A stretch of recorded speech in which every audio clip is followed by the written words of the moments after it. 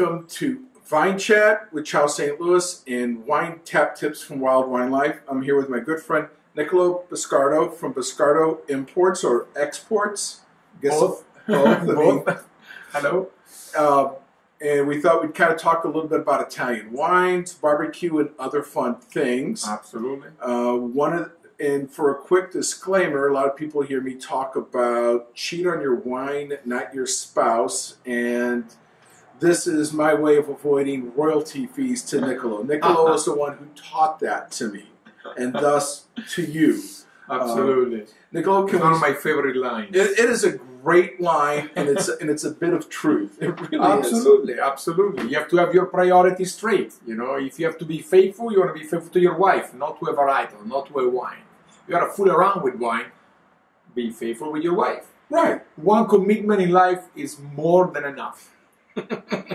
no more than one. One, and that's it. So we have 2,000 varietal just in Italy. Have fun with all of them. Why not? Yeah. Don't be married to one just because you like it. Keep experiencing, keep enjoying, fool around. Fool around. Fool live, around. live life. Live a zest for life. Absolutely yes. Absolutely yes. Get your priorities straight. Can we sample a few of your wines? I would love to. I would love to.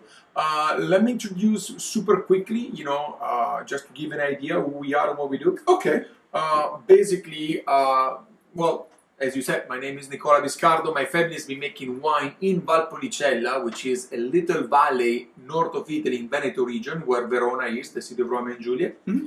for four generations now. So it was the late 1800 where my great grandfather started making wine over there. Which wine do we make?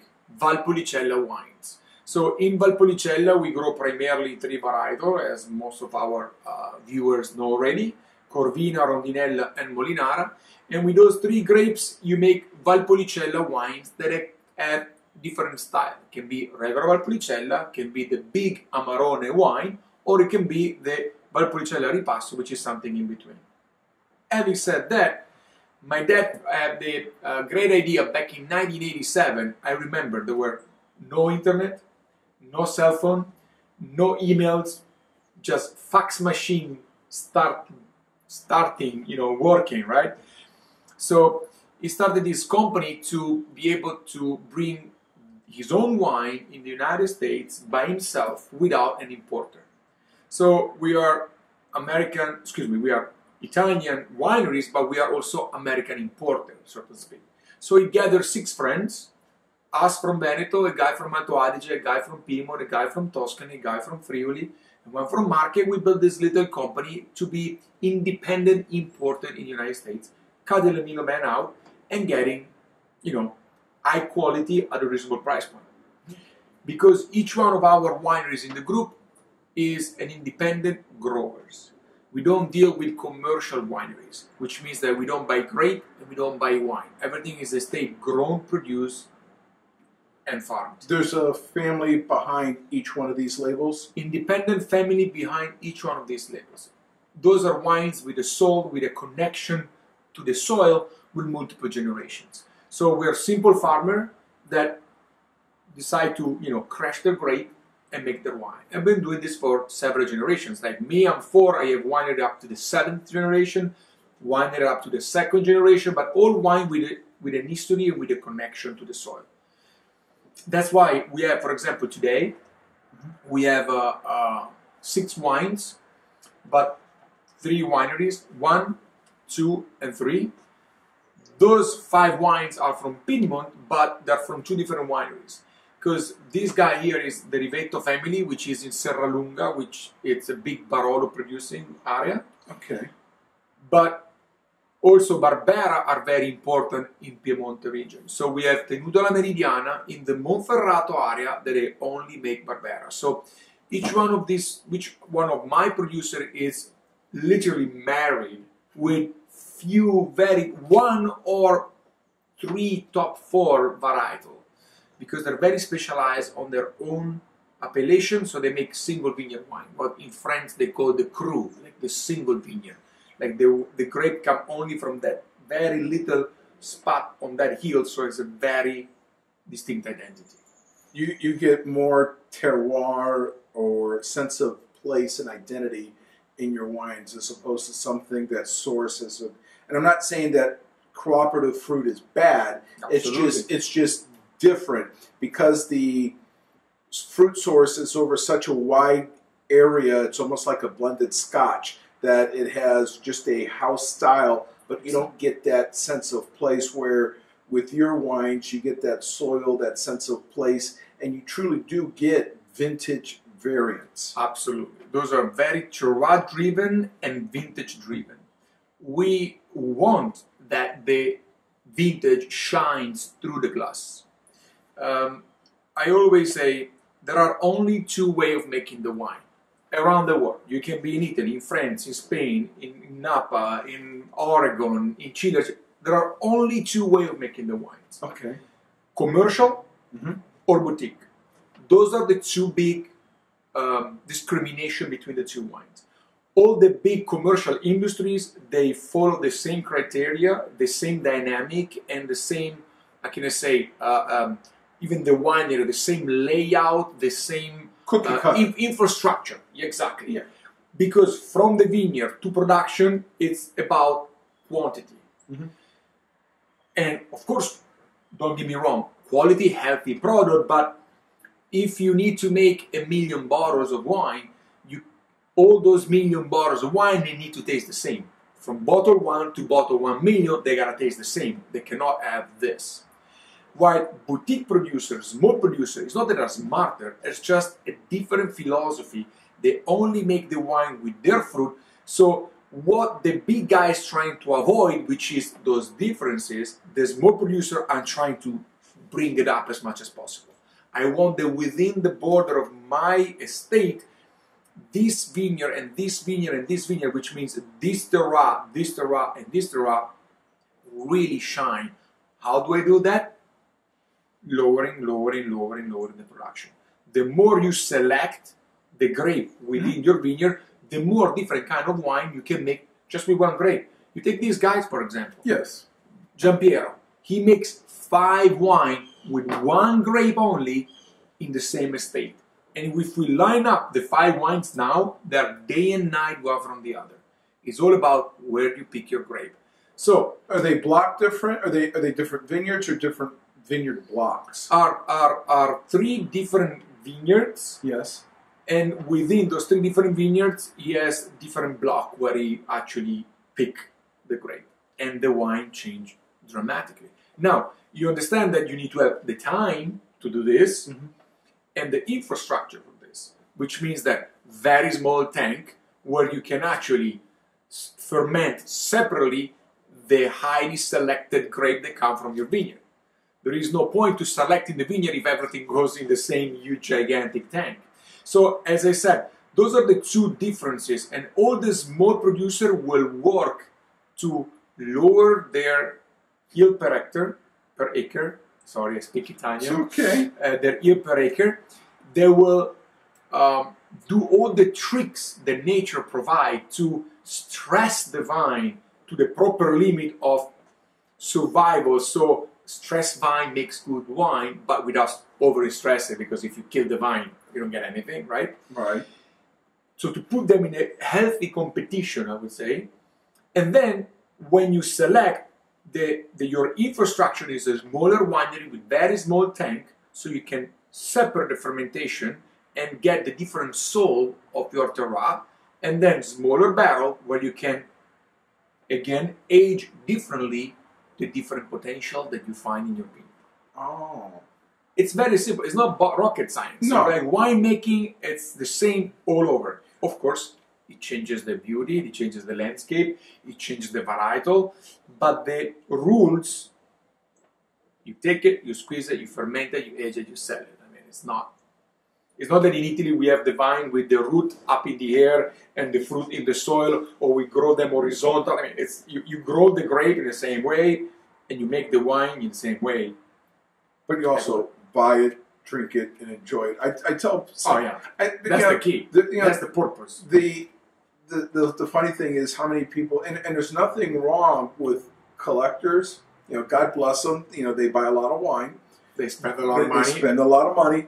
But the most important thing is, you know, wine, wine is an art, but you don't appreciate the art staring at the bottle. You appreciate the art drinking it. It's meant to be consumed and enjoyed. You can't appreciate the, you know, art at the art gallery can't be enjoyed unless you visually see it.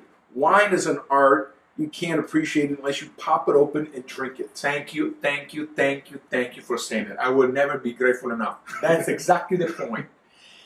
You don't collect wines, you collect the memories that you have when you drink it.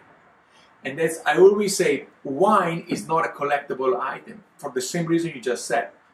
You can collect art because the, uh, um, correct me if I'm wrong with English, No, the, the, the purpose of the portrait or, or the sculpture is to stimulate an emotion looking at it. Right. So yes, you can collect art, and every time you look at it, they're like, oh my god. You can collect watches, mm-hmm. and then you can wear. You have like a thousand watches. You cannot wear all of them, but every day you can change one. You can collect cars and take one a ride once. in- So the purpose of that object actually comes handy. But as you said, wine the purpose of wine is to stimulate the taste buds and the nose to bring those flavors and those emotions. Therefore, it's not co- you collecting bottles. You collect the wine only when you actually drink. it. drink it. I mean, I have said, I mean, for example, I mean, you you have a wine like I, I save the empty bottles. What was the first wine I consumed I agree. at the new house? What was the wine that you know? I, I gave a relative of mine a bottle of wine for his 80th birthday, Mhm. but it was a 23 year old bottle of vintage champagne from the year that his first grandson was born.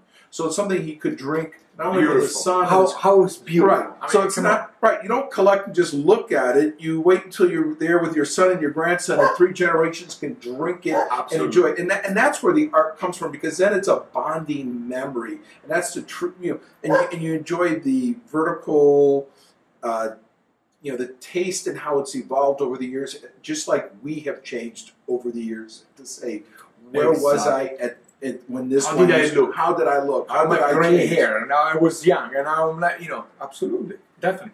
I always say wine is not a collectible item. They fool themselves when they those collectors.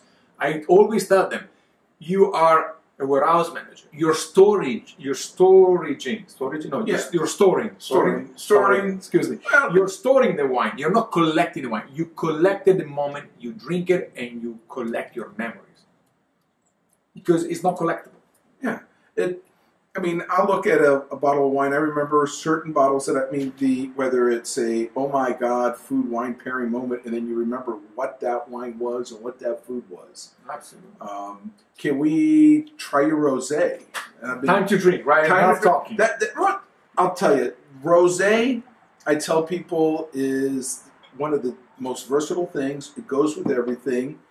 Um, and unfortunately for me, it's the one wine that gets me into trouble um, because it's so easy to drink. Absolutely, definitely. And uh, so now we're we're doing a little tour, right? Mhm. We're taking the bus, Okay, and we oh, we're two of us. Get in the car, so it's more comfortable, more comfortable. and we go all the way up to Piedmont region, Piemonte. Piemonte is the far northwest corner of the Alps. There are separating Italy from France, like neighboring France.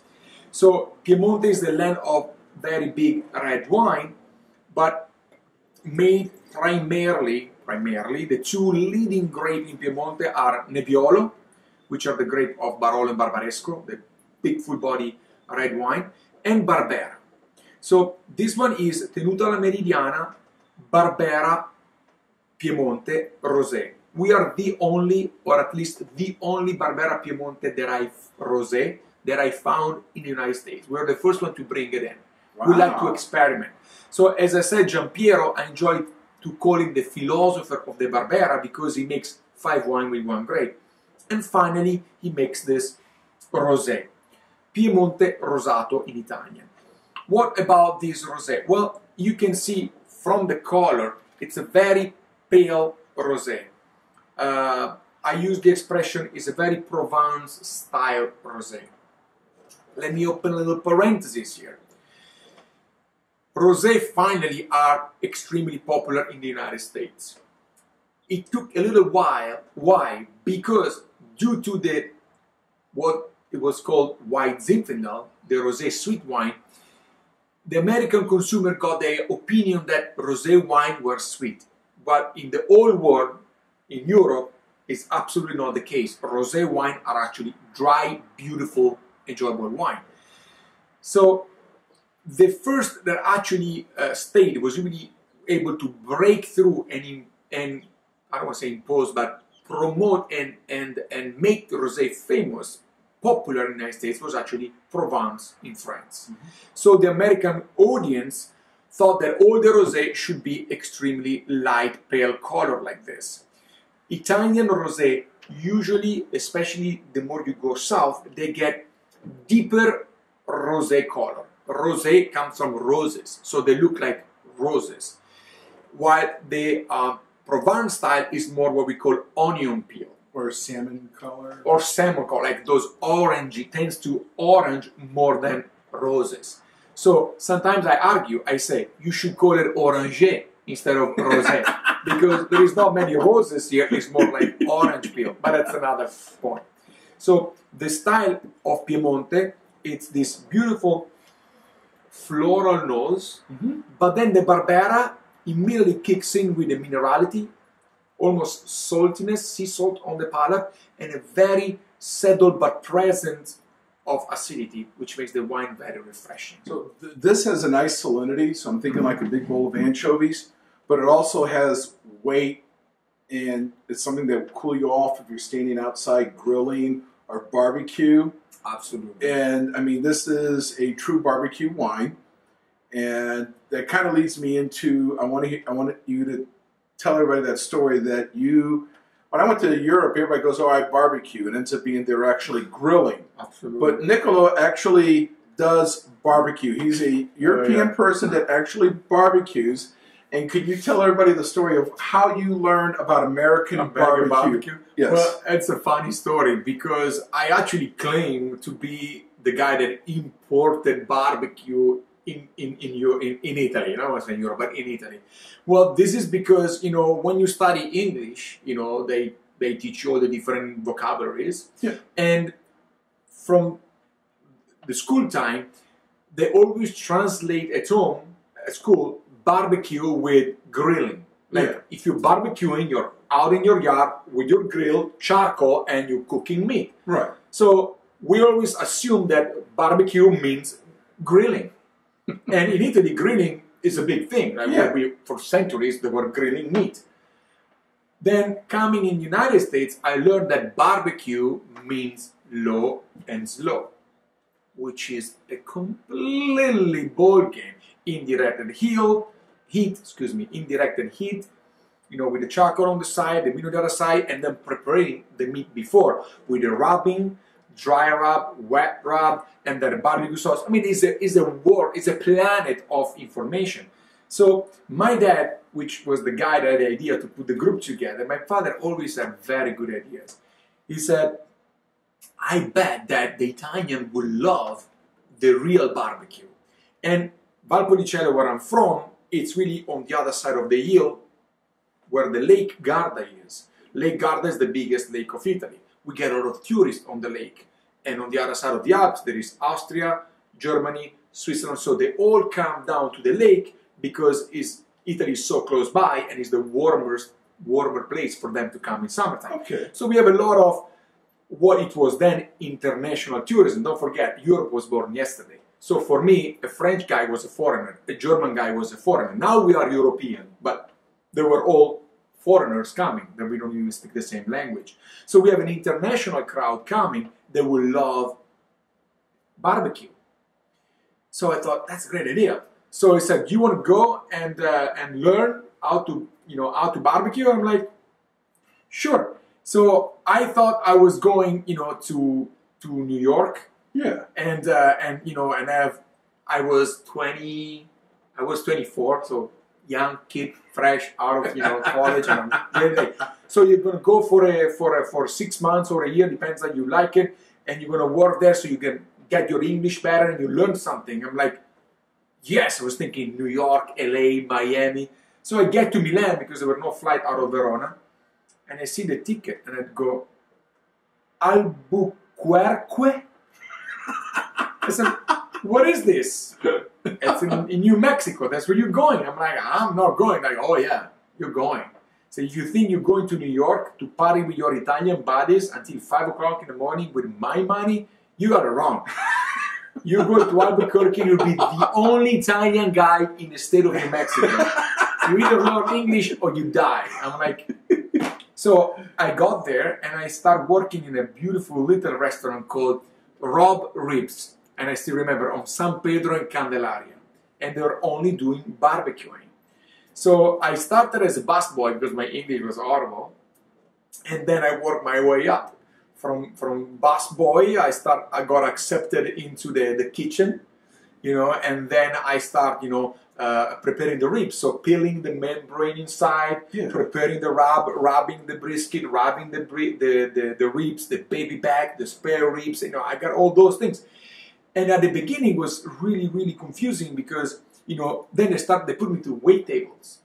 So you know then you also have to wait tables. I'm like okay, so I was you know if you were working in an Italian restaurant it would be easy because you know even if they mispronounce something they say they say linguini instead of linguine. I'm not dumb. I understand what you want. But they were like, you know, green chili corn pudding, chicken enchilada, brisket, double baked potatoes. I'm like, I couldn't even understand what we were talking about. And then I was trying to take the orders, and and they were like, hmm, how do you make your ribs? I'm like, are you asking me?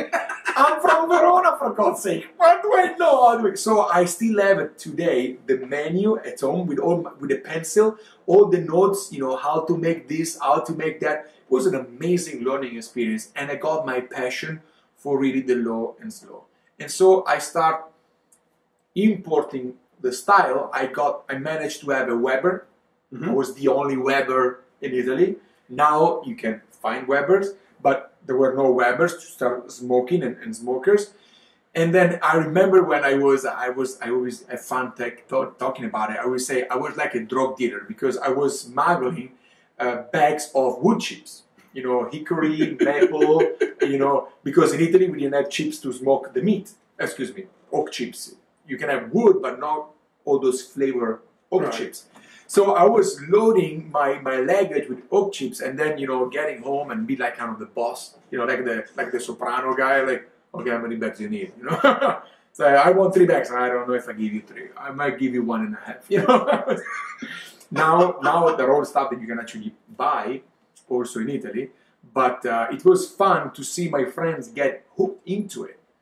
And now I create monsters because now they all want to compete with me and because they all want to defeat me, they want to prove that they are better. So now they're getting all those, you know, on Amazon you can Yeah. buy all those um, thermometers with like five, six different temperatures. You put in all different meat and stuff, and say, "Look what I buy today!"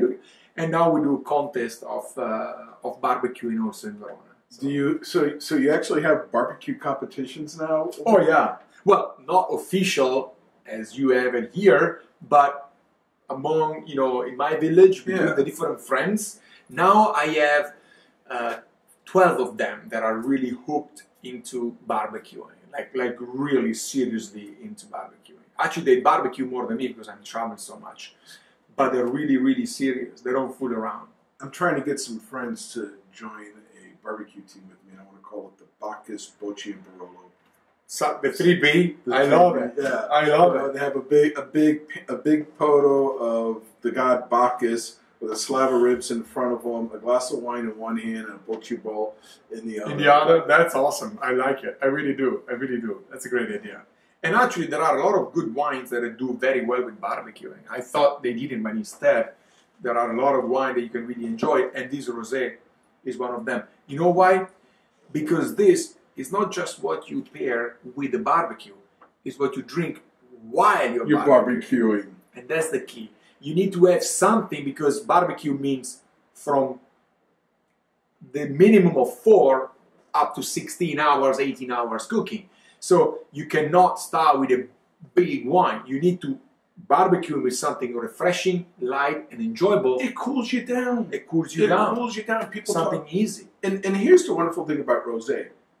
You know, you drink. You know, a lot of people drink beer when they're outside cooking. I'm like, why? It bloats you. Bloats. It bloats you. Absolutely. I mean, dry rosé. too much calories up front. Yeah, it, it, you know, you have all that carbon dioxide, and you know, you you all It's liquid carbs. Yeah, you know, you It's know, like drinking pasta, yeah, which I love it. Don't get me wrong, but as you said, yeah. What you know, the, the, the rosé cools you down. It's refreshing. You can have it by itself. It'll work with all the sides at barbecue as well as any of the meats that you're going to do. definitely, it's a super versatile wine, and I cannot stress this enough. It's just have fun with rosé. Rosé is a great way to socialize and enjoy and have fun with any. You never go wrong. You can really pair it with almost everything. Now, are you amazed at how many Italians here in America are are barbecue fanatics? It's really interesting, yes, because it's something that you cannot find in Italy. So it hooks you in. It's like a drug. You get hooked into it. And it's also technical. So it's also challenging. It's something that every time you see what is the result. And that's why I like it so much. Because you think you get the technique down to perfection, but then every time there is a little detail, a little detail, and then the, your body tells you something, another little trick, another thing and those flavors are really in layers, it's like a wine Yeah. are all layers and layers and layers of flavor. So it's really, really interesting the way it works, and I and I really enjoy it. Yeah. Anytime it's love it. Apply, you know, deal with the outside temperature if it's extremely hot or extremely cold. Absolutely. The, the wood or charcoal. Charcoal, the- the- which the which varies, which yeah. varies. and I mean the, the variables that go into it. And so and then cut to cut. I mean, And the meat, and the absolutely. meat. Um, my, you know, Mike Emerson over at Pappy's told me that the most difficult cut, in his opinion, was brisket. And I've had other people tell me that, you know, because it varies from, you know, that it's very uh, the size of the brisket varies so much. And it varies so much, and every animal is different. So it's not that is one rule for everything. and, and it's a lot like wine that every vintage is different. You know, one vintage. I mean, you can do a cookie cutter style of wine that it's always going to be new oak. It's always going to be twelve months, Absolutely. and then we're going to release it. But but you're going to release that thing. yeah. But a boutique winery is going to say, okay, well, this is a softer vintage, seven months oak, or this is a bigger vintage. We need fifteen months. oak. Absolutely. Um, As so- well as you adjust your temperature or your length of cooking in barbecuing. It's not always, you know, an hour a pound or whatever. It's you gotta see. Think about the challenge also that in Italy we don't have the same cut of meat that you have here, or at least we don't have all of them, or they have different names. So every time I was going back home and I said, uh, I want to buy a brisket, and I said, and my butcher was like, "What the hell is brisket?" I'm like, I have no idea. I mean, when I'm in United States, I go to the butcher and I say, "Give me brisket," and they give me this piece of meat. But I'm not a butcher, so I don't know from which part of the animal actually exactly come.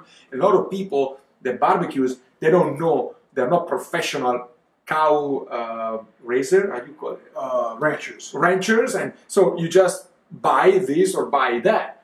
And so i couldn't find a ribeye i couldn't find the uh, new york strip. I couldn't find the the brisket was my biggest challenge because they don't make that cut because they use the meat in a different way because we have different recipes in it. So i finally realized that brisket is punta di petto which is the breast of the uh, of the of the cow. Yeah. So I was able to convince my butcher says I need la punta di petto. He came out with the punta di petto which is like this big. I'm like, what am I gonna do with that? So uh, to tell him, you know, it needs to be cut in this way, then they look at you weird because says, well, what I do with all the other waste? Because it doesn't fit into the Italian cut that people will actually buy. So it was a challenge. Also, also the rack racks of of of um, Ribs. ribs. They don't usually in Italy they don't come in racks. They really come separate because that's how we- Individual, individual. Oh. So that's how we grill them. Because when you grill, because we don't barbecue ribs in Italy, we grill them. So you grill them to cook them on a grill. High temperature is independent, one of one single bone, and you keep you know turning them until they're cooked. So to have them in a slack, slack, slab. slab to slab. have them in a slab was really a big challenge. Now they give you the slab, but it's not trimmed like St. Louis style or Memphis style. So to convince them to trim it that, that, that way, they said, and what we're going to do with the rest? You got to buy everything. And I, I don't need all that floppy thing that goes. It's like, but what we're gonna we cannot sell it. so it was really challenging. Now, that was 1994, my friend. So now barbecue is becoming a thing in Italy too. So there are more and more butchers that are willing to, uh, um, I can say, in um, exploring in those American cuts, and and they're becoming very successful because all the people who want to barbecue, that's where they go to barbecue. That's where they go. Like uh, even the um, how do you call it flank steak. Yeah. I couldn't find a flank steak to save my life. Uh, and it's diaphragma. Now it says it's diaph- I know it's diaphragma, which is you know what separates the loins from Yeah. from the from the bottom. So I said, oh, it's diaphragma, good. So I went to the you know to, to the grocery store. Said, you have diaphragma? Look at me as I'm coming from Mars. I had to convince the guy. Like, you want diaphragma for what? Well, I'm grilling him like whatever. You know, those are those um, not prestigious cut of meat, but actually they're super tasty. Yeah.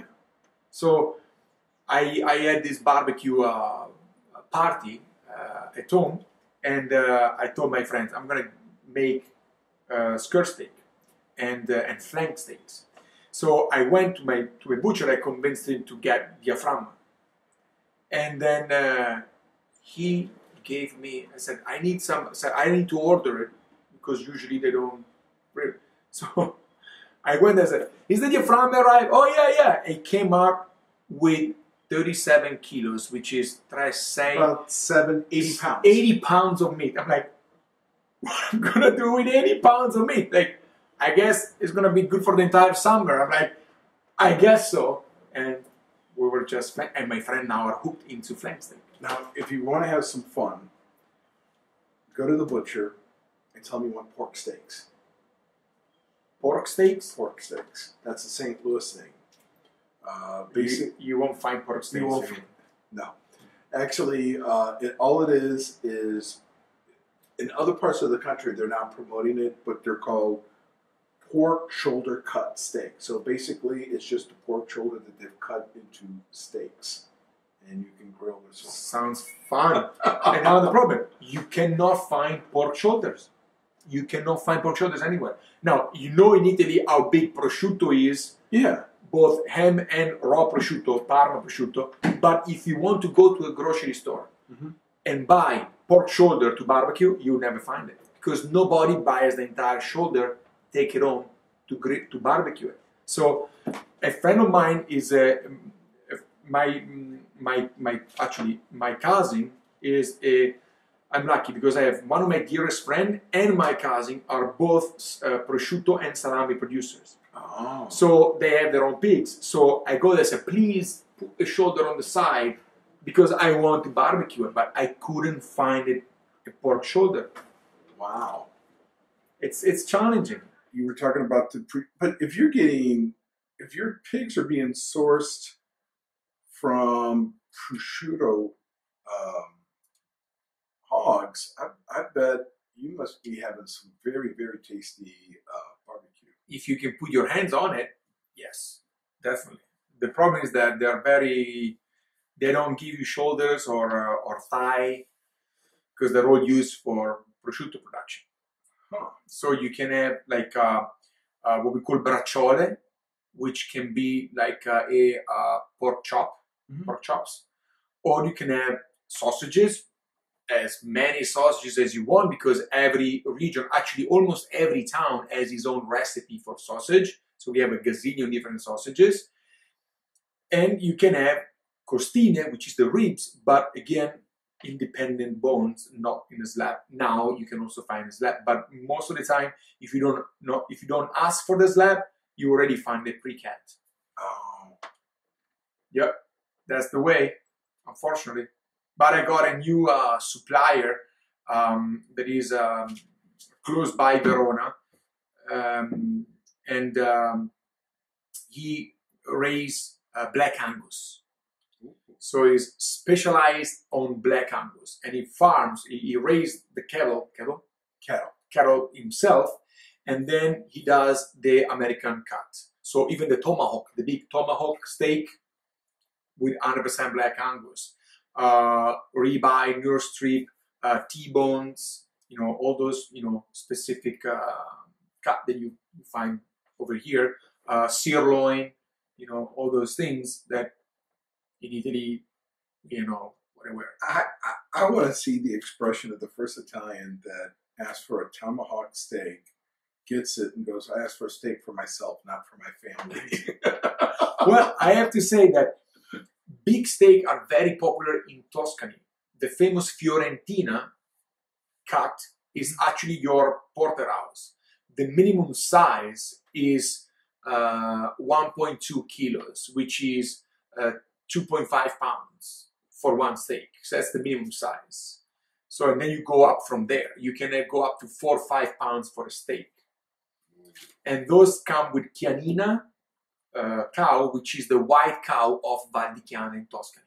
So big steak are popular, but all the other cuts are different, or they call them differently, so they're difficult, was difficult at the beginning for me to find them. Now, next time you come to Italy, uh, we go in Tuscany to the, uh, they call it the, the poet of the butcher.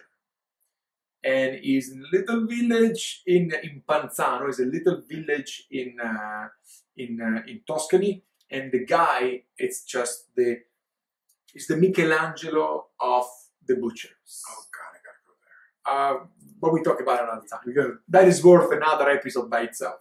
Okay. The guy is incredible. So uh, let's move on. Yeah, let's move on. So we go from 100% Barbera made by Tenuta La Meridiana and is rosé because it's only four hours skin content. What I mean skin content? The time that you allowed the skin of the grape to stay together with the juice. Okay. When it comes to white wine, you soft press and you separate immediately the skin and the juice ferment by itself. When it comes to red wine, the red wine ferments entirely on the skin and gets all the color. When it comes to rosé, it varies between four, six, seven hours. It depends how deep you want your color. The key is to keep the temperature very low, so the fermentation is very slow. The juice gets the flavor without getting too much color. So here you have four hours of skin content. The same grape, same grape coming from the same vineyard, they go into cement. Mhm. Uh, Giampiero still use concrete vats and they ferment for 15 to 20 days on the skin for the Barbera Quattro Terre. So in this case is cement fermentation, which is a, which is still today a very ancient way, a very traditional way of fermenting grape. Now, in the 70s, everybody knocked down the cement and they moved on onto the stainless steel because it's cleaner, it's easier to sterilize, and is more healthy. And easier to temperature control. A lot of it was a huge innovation steel. Well, 20 years later, they realized that on certain varietal, the concrete, the cement, was actually affecting in a marvelous way the wine. And Barbera is one of them. So the Barbera, they're fermented in cement, they are extremely soft and extremely smooth. And a number of chemical reactions that happen in those cement vats, and so the Barbera comes out so elegant and so silky and so soft. Giampiero, I call him the philosopher of the Barbera because he makes five Barberas with one grape. What is the Quattro Terre? Quattro Terre means the four soil, the four terroir. Because this one is not a single vineyard, but is a second, we talk about it selecting, selecting, selecting, Mhm. is a second selection during harvest from the three different vineyards that have four different terroir, they go all together into the entry level friendly wine. Okay. So quattro terre, four soil. You can see the color: sand, iron, limestone, and clay. So Giampiero says this is not a single vineyard; comes from all my vineyards. So is a collage, is a is a mosaic of what my property brings to the table. So it's not your super movie star single vineyard with that specific character, but is what Barbera is in his entire. I call it a textbook wine or a comfort movie. Exactly. It's what Barbera is in a very friendly way. So this one is concrete and then spends one year in the bottle, but no barrel aging, no oak at all. Is the pure expression of a Barbera. Look at the color. Beautiful nose. Like I always say, this one is a sommelier dream in the sense that when they give you the uh, um, blind tasting at the sommelier uh, um, examination, Yes. you dream they give you this because it's such varietally correct that you put your nose Barbera. Doesn't fool you, doesn't trick you. It is what it is. It tells you merely what it is. It's the pure interaction of the vine with the soil. It has weight. It has a soft mouthfeel. You get some nice bright red fruit and a little bit of berry, mm-hmm. and then I get a little bit of smoke smokiness. And they all ask me, "What's the barrel?" Because of this smokiness, of this complexity. I'm like, "No barrel." Oh, come on, it's not possible. That's what you do. If you select in your vineyard, if you treat your vineyard properly, the identity comes through. So those are direct flavors driven from the soil through the vine into the glass. I tell people, And see how soft it is? yeah, Usually Barbera d'Asti are very acidic, concrete. it- That's the key. a lot of them have the a a a, a, sh- a sharp knife-like acidity. Exactly. This has a crisp acidity. The acidity is there, but it has has this softness. You know, and we were talking about you know the terroir. I tell people, I go, you know, what was funny is one time I was in Venezia Mhm. and we were at a winery and we were drinking one of the whites and it smelled oaky because of all the smoke in it Mhm. but it was from all the flint in the ground that when we went in there they had to blast through 30 feet of uh, flint Flint. to get to to make their um, cellar Mhm. and you could actually smell that flint in the wine Absolutely. And that's why I said it before, you want to stress the vine to a proper level because stressing the vine, uh, putting them very close, putting them in competition, or growing in between the rows, wheat. Mhm. So the, the root of the wheat, they go in competition with the root of the vine and they absorb all the water in the first two, two feet. They force the vine to dig down, and that's what you want. You want the vine to dig deeply down to find the water, to find the humidity to survive. Because the more layers of terroir you go through, the more layers of flavors you get into your wine. So each grower around the world try different tricks to force the vine to dig as deep as possible so they go through a lot of layers and they bring a lot of flavor. are you allowed to irrigate in piedmont You're not allowed to irrigate in Piedmont, uh, especially for UCG wines. You're not allowed to irrigate. You can irrigate the first five years of a new life of a new vineyard okay to give enough energy to the vine to survive. But then at the fifth year, she needs to be independent. It's like for a kid. Yeah. A kid needs to be pampered and and and and I can say uh, Look fed, after fed, look Yeah. after to build the body. When the body is built, then you say, okay, that's the door. Go conquer the world. But if you leave a kid from day one outside, it's gonna die in two hours. You know, you, you cannot do that. So there is no difference between a vine and a human being. We we we think and we react to life in the same. I've said I've said that sometimes. I said, you know, I mean, in the area like in the areas where they in California, and I'm not knocking this. I'm just saying, you know, you know, they irrigate, they fertilize, and you have all the vines up at, at the top near the near the surface. You pay a premium to have an appellation on the name, but it doesn't have that taste. Where if they're stressing those vines, then you get that Rutherford dust or that Oakville uh, volcanic soil in, in, in the wine, for example.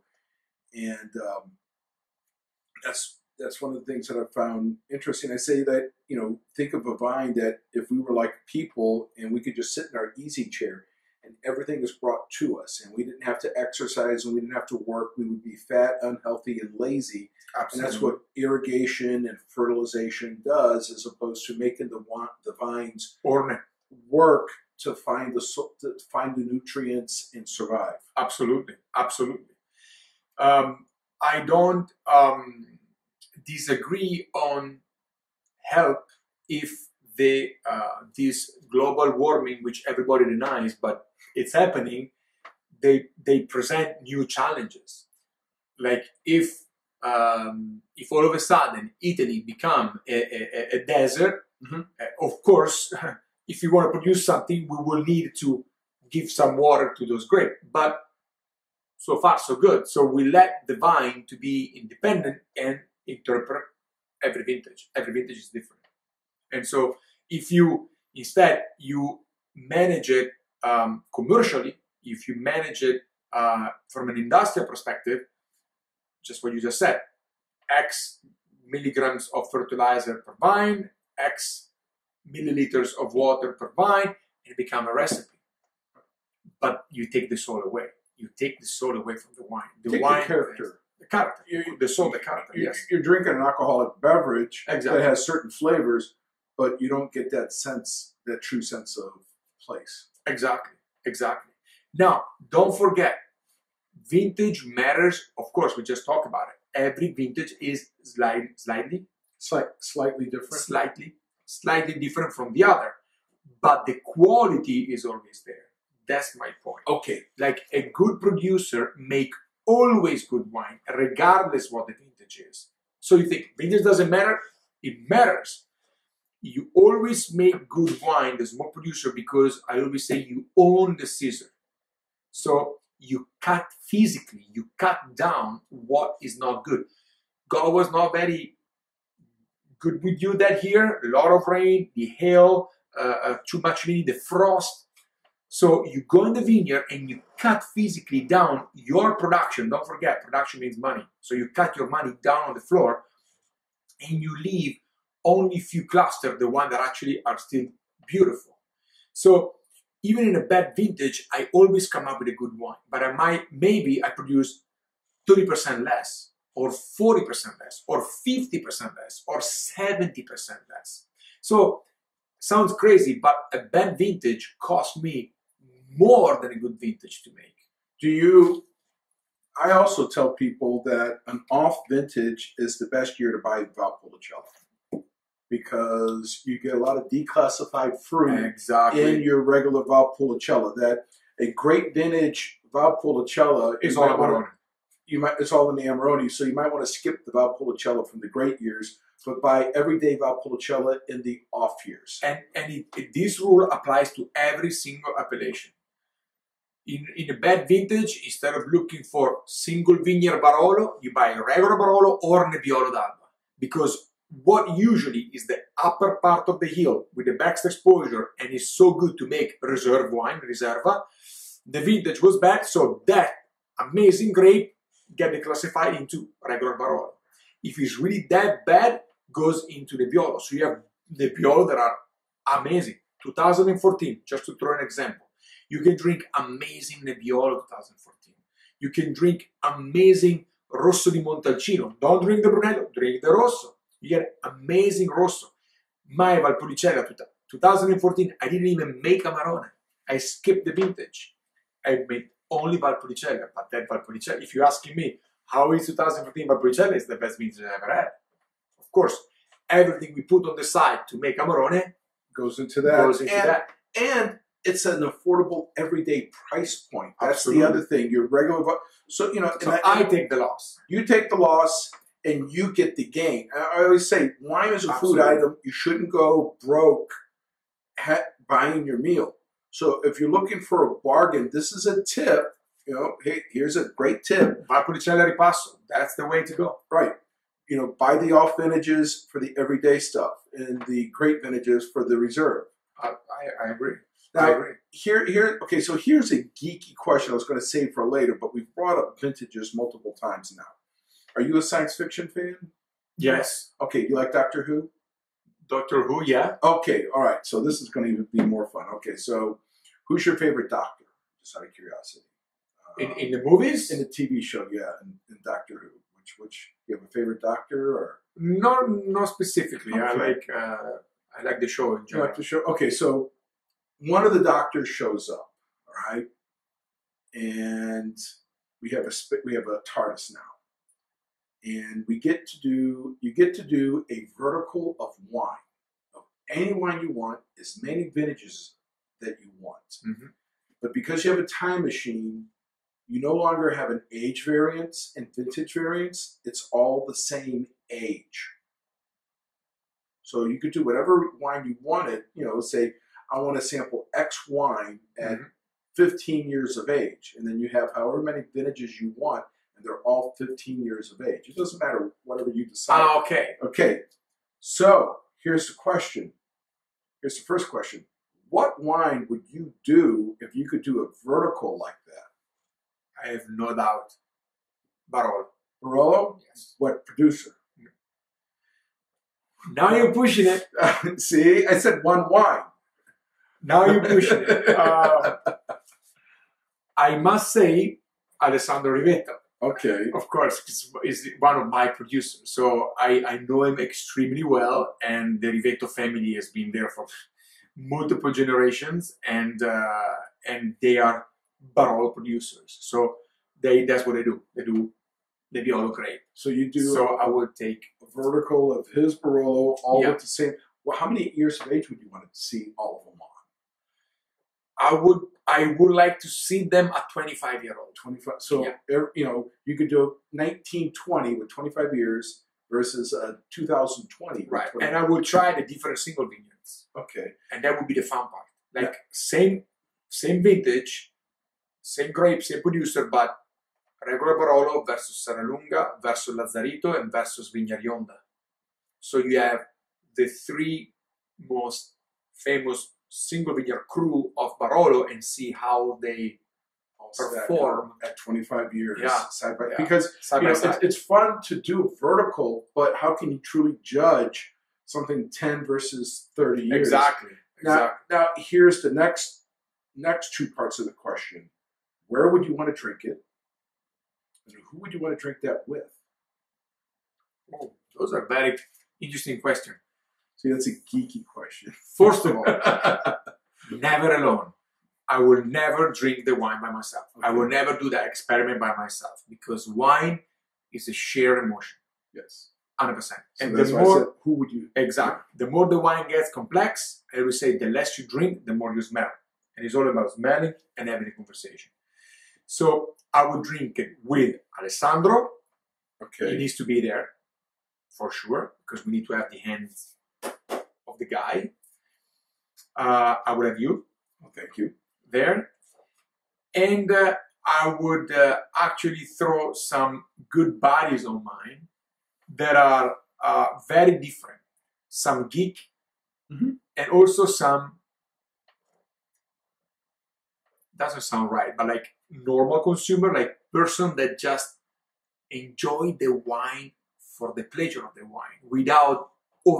A random person off the street. exactly. We just show up in the middle of wherever Exactly. in this TARDIS, and we go, "Do you want to go to a wine tasting?" because that's my in." customer first of all. Yeah. but also it's fun to see that when you get something that amazing you know mm-hmm. with a time machine everybody become fascinated even the guy that, that says oh i know nothing about wine it doesn't matter if you know nothing about wine we said it before i didn't know anything about the cow i don't raise cow i don't know the name of the cow i don't i don't know the name of the pig but i love barbecue. i know what i like so to have your Paolo Rossi, your John Smith Yeah. at the table there, and and maybe we start talking at the beginning. Will be kind of on the side because he thinks I don't want to say anything stupid. I don't want to be. I don't want to look dumb. But then the wine will fascinate the guy, will court him, like uh, like when you're courting a beautiful woman, and then he will be totally in love, and then he will start sharing his emotions. his his I always tell people, you know, some people say, I know I'm supposed to like this or should I like this or I go, if you don't like it, so what? So what if it's a hundred dollar bottle of wine, you don't like it, you like the five dollar. Dump it. Good for you. Drink what you like. That's all that matters. You're the one buying it, you're the one drinking it. Don't force yourself to drink something because somebody tells you. Now, my favorite line after when I say you're not you're not uh, uh, married to a wine, so you should try all of them. You don't have to be faithful. My second favorite is like you're not married. You can dump at any time. you don't like it, see ya, gone. Yeah. You're not committed. I like that. I'm, I'll gonna move on. Um, yeah, uh, you know, un, un, unlike a relationship, That wine you're is easy to dump. exactly. you're in a relationship, you're stuck there. Like, oh damn it, or am I just gonna cost me? Oh my god, no. You don't like it, you dump it. That's it. You move on. right. You don't No hard And feelings. and trust me, there are no wine experts. They pretend to be. And wine doesn't like expert. Wine like lovers. You want a wine lover. You don't want a wine expert. The wine expert tend to overanalyze, and most of the time, just between us, because nobody is watching, right? no, no. just between us, the wine expert are huge pain in the neck. So you just want to enjoy the flavors. I don't know nothing. You don't have to know anything. It's the wine that talks to you. It's not you that talk to the wine. It's the wine that reveals the layers, the flavor, the perfumes. That's what the, that's the gimmick of the wine. I tell people, you know, the worst thing for the wine industry are the people in the wine industry Absolutely. because they, I at restaurants and stores, people go, "Oh, I can't believe you're buying that. You buy this," and I always, always tell people, never apologize for what you like. I go, I mean, You like what you like. you like what you like. I go now personally. Personally, I mean, you know, I I can't see drinking one specific thing with the entire meal. You know, like Yes. like like a big. There are, there are some rules. Right. But, but but but if that's what you like, go for it. But Yeah. experiment. You know, you know. I mean, when when somebody says I only like sweet, then I'm like, then fine, drink sweet. some of the most expensive wine in the world are sweet. That's what I tell people. I go sauternes and ports and ice wines, Absolutely. ounce per ounce. And I said, you know what? I like them. I love them. Yeah, try I can spend with it this much of Sauterne three hours. Yeah. Three hours. Like, You know, try an ice wine. don't think I was born with such a long thing. This got longer and longer because like the Um, wine is in your nose. The the I'll tell you what. Try ice wine with a uh, blackberry cobbler sometime. But um, Or, or, or sweet wines with cheese. yeah. Sauterne and nice stinky cheese. Now here here's the next the last part of the question though, or the last Oh yeah. of that. Okay. Where would you have this? Where Because now remember, you have a space and time machine. So I mean, you could you you could have you you could go back to ancient Rome. You could go anywhere you wanted. I be uh, very very simple on this. I will be at home. At home, Yeah, in my little kingdom. Yeah. see, I, Yeah. I have a magical place. I'm lucky and uh, and very relaxing there with my property here in the vineyard with my buddies. A nice loaf of bread, a lot of a lot of fun cheese, and those marvelous wine. Big glasses and relax and bullshit is the most beautiful part. Bullshitting. we will talk a little bit about the wine, and then the conversation will steer into something else. And then we're gonna go back to the wine because the wine doesn't have to be the conversation. no, The wine brings the conversation up, and then we talk about everything. and going back and forth and And going. then you see that the, the sun goes down and the moon rising out of the Valpolicella. It's beautiful, like it's this big, and then and then all of a sudden, oh, it's two o'clock in the morning. oh no, the sun has risen. Exactly. Takes me back to my days on Bourbon Street. So that was an easy answer. Like where it would be in the comfort of my property, Because I have the best memories there.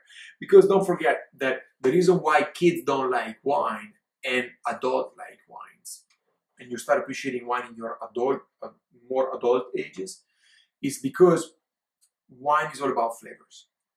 But the flavors that you get in the wine when you smell and you say this smell like uh, uh, pear, green apple, cassis, tar, tobacco, cigar box, mint, uh, you know, all those different flavors. Those are flavors that you recognize into the wine. If you don't have that library of perfumes in your brain, you're, you're not capable to recognize anything. And so you need to experience life to be exposed to those flavors, and then you recognize the flavors into the wine. We So relive our life when we drink wine. I mean, I've, Absolutely. I've told people, I said, Opens the memories. My, my favorite style of Zinfandel or Primitivo are the ones that have the big blackberry flavors Mhm. because it reminds me of being a kid picking blackberries in southern Missouri. Okay, next wine. We jump back in the car. Okay. and we have uh, a little bit of a drive. We go from Piemonte to Tuscany, which are the two most popular wine region of Italy so far, but we have many to talk about. And basically, from Piemonte, which is the northwest corner of the Alps, we go down to Liguria, uh, Genoa. We pass by the Cinque Terre, which is a beautiful place, and then we keep going to Tuscany.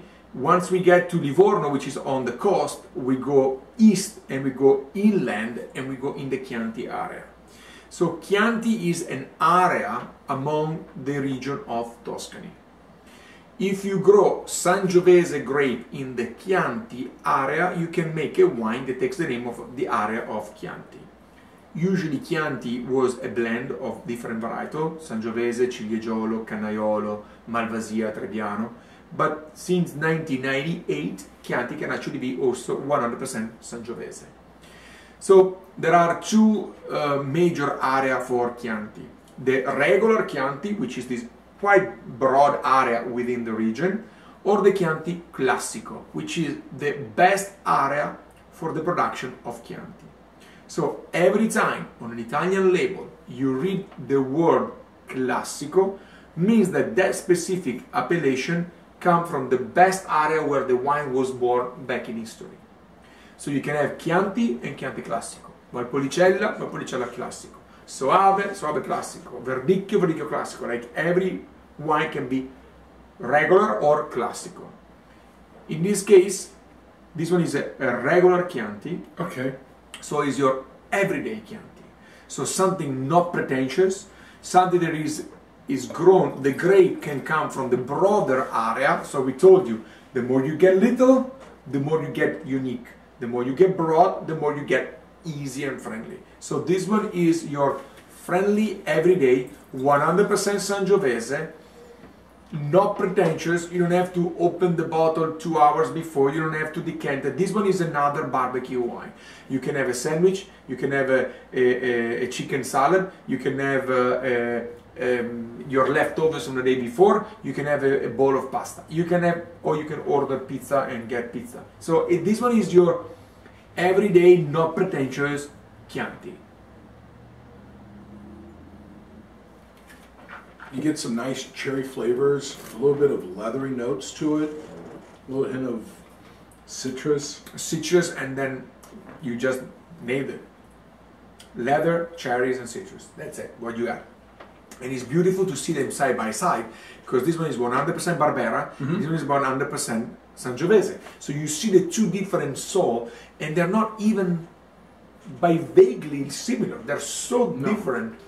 And we're looking at two entry level wine. Usually entry level wine they taste all the same. But that's the beauty of italy. Two entry level wine and they are remarkably different in style and in flavor.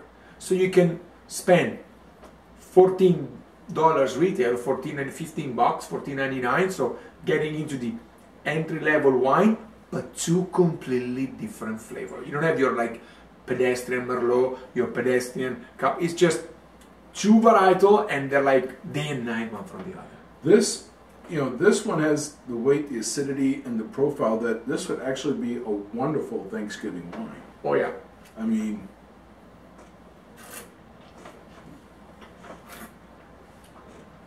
you get And actually, coming from a little kid, you got some character here. You get this one drags you back to Tuscany. That's the what I like. Yes, we are not talking about the philosophy of winemaking. This one would be a wine that we casually sipping without even thinking about it, but it takes you to Tuscany with the hay. You know the grass when the Yeah. when the grass gets dry, you smell the hay. You know when you when you're driving the car, they're mowing the lawn, and you and you breathe it. That's the that, that's it. Two, three perfumes, simple, simply like good enough to engage you. Yeah. But, but easy enough that you boom, it's gone. Yeah. Now now I move on. Oh wow, those are big. Oh, oh now we're overanalyzing. Here we don't overanalyze. No. Something is healthy, because don't forget, I always say there are two different words. And Italian are lazy. So if they invented two words, there are two different meanings. So one is quality and one is complexity. And those two words are completely different and they withstand two different meanings. Quality is how a wine is made, is what you use to make it, is the raw material. Complexity is what the wine showcase. So if you refer to a building, quality is actually the, the bricks, the concrete, the steel that you're actually using. Is good grade or is poor grade? Complexity is the design that the architect put on that specific building. The end result? Exactly. Okay. So you can have a building that it doesn't look very pretty, but it's super solid material, so it's high quality. The storm comes in, it doesn't move. It's not fancy to look, but it's very good quality. Or you can have a beautiful building made with beautiful material, but also great design, which is a piece of art. Wow, you then you admire it also. But let's not forget, you can have a very simple wine that doesn't deliver a lot of complexity, but be extremely high quality, which means very healthy grape and very honorable winemaking. So the wine doesn't kill your stomach, doesn't kill your kidney, and you don't have to have a liver transplant, transplant at the end of the day. And this is extremely important, and I will never talk enough about this because, especially with entry level wine, low cost wine, the only way you can cut your cost is mass producing. Mass producing means using a lot of chemicals, and that's when the quality goes down.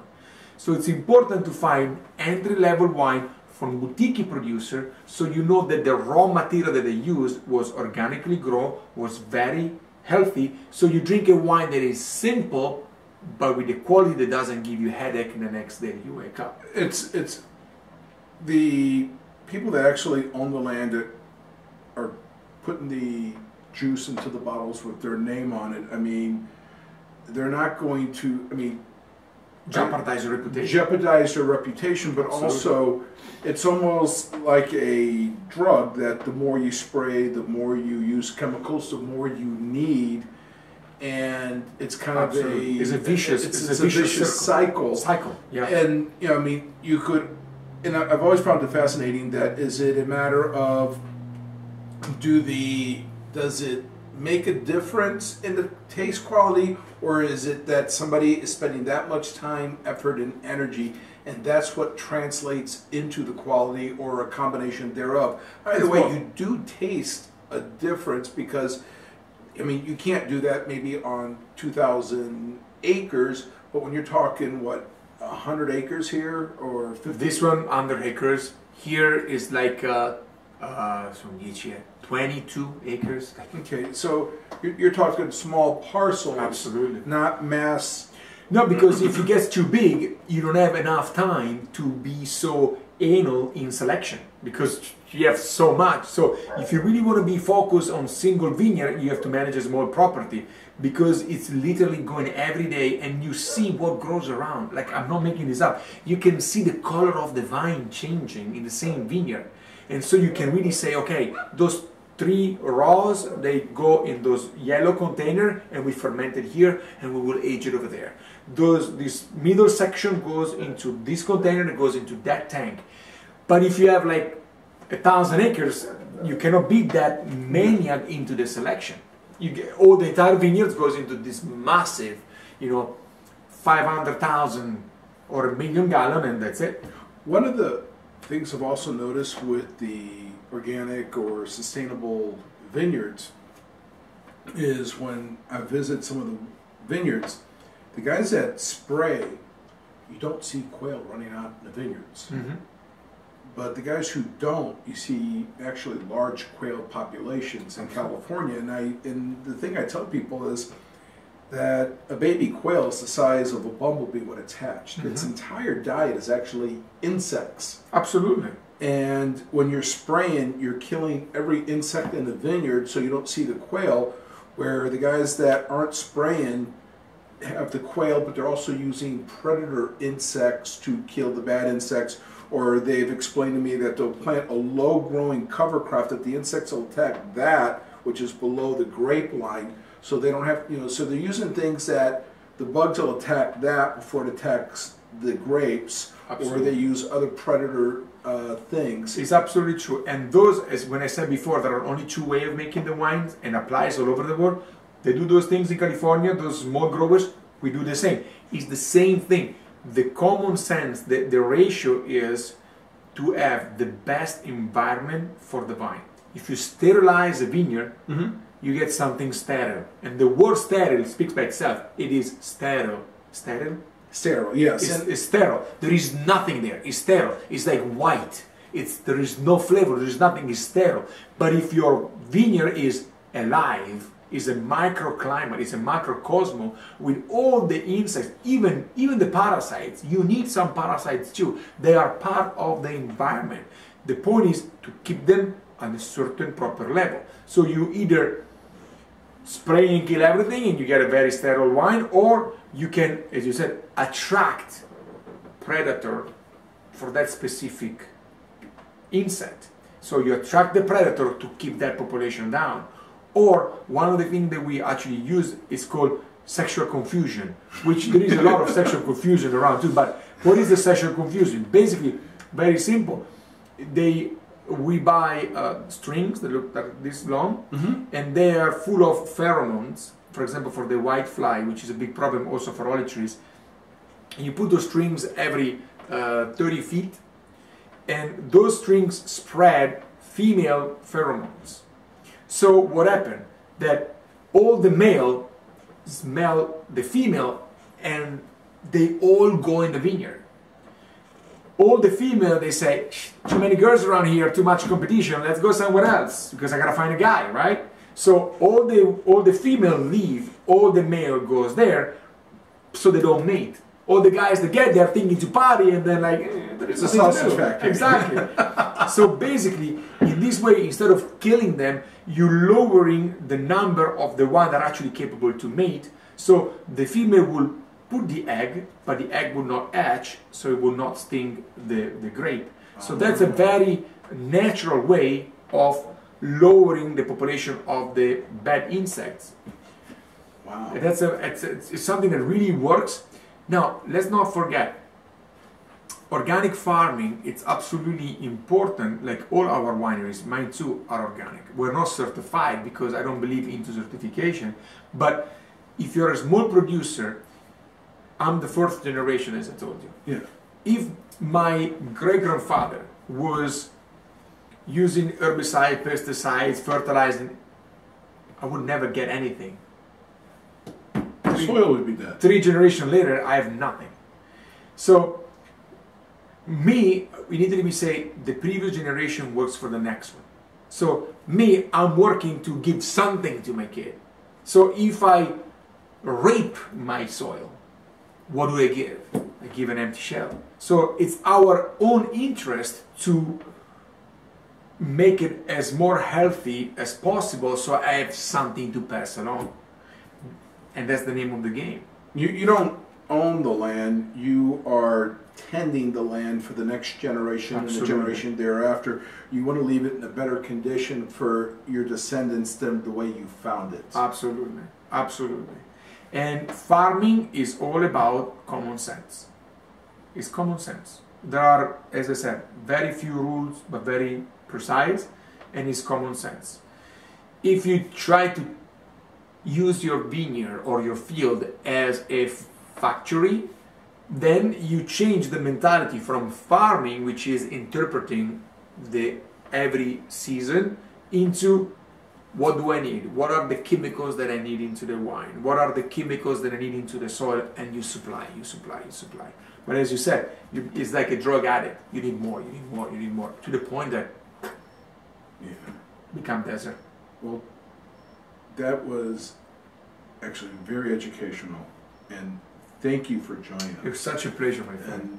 And I look forward to doing the next three ones very Absolutely. soon. And I'll this is. Nicola Biscardo.